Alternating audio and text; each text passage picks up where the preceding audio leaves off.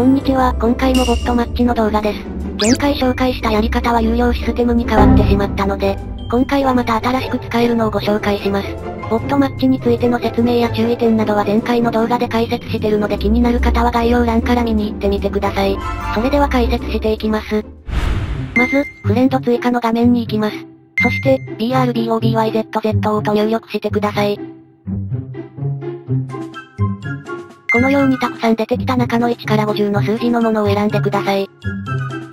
ここで一つ注意点があって、1から50以外の数字の名前は全部偽のボットなのでフレンドを送らないようにしてください。変なサイトに誘導してきたりクリエイターサポートを求めてくるので気をつけましょう。それと、ステータスにこのような赤丸が表示されてると、今は別の人がボットを使っているということなので他の数字のボットを使うか少し待ちましょう。4体くらいのボットとフレンドになっておけばこの問題は改善すると思います。フレンドになったらパーティーに招待しましょう。ボットが入ってきたら埋めないにしてから準備 OK を押すだけです。前回のと違ってモード変更もわざわざディスコードでする必要はないので安心してください。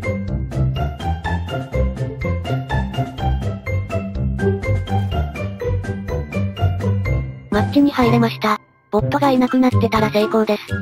今日の動画はこれで終わりです。来週はランクで使えるのも紹介するので通知オンで待っててください。それでは、また会いましょう。